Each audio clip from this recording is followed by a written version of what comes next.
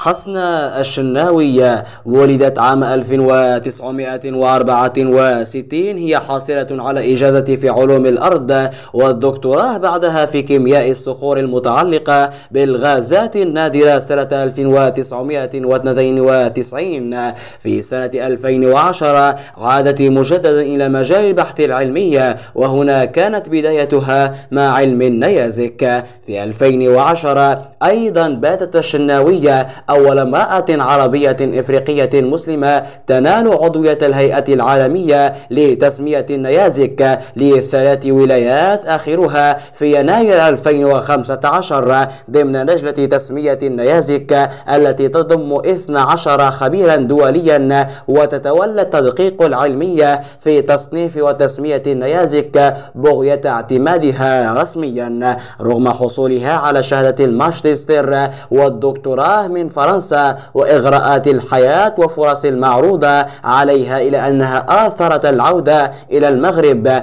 والعمل داخله لخدمة بلدها الأم إذ تعمل أستاذة في جامعة الحسن الثانية بالدار البيضاء ومديرة مختبر جايا ومنسقة مركز الأبحاث الموارد التربوية وحماية البيئة في جامعة الحسن الثانية بالدار البيضاء.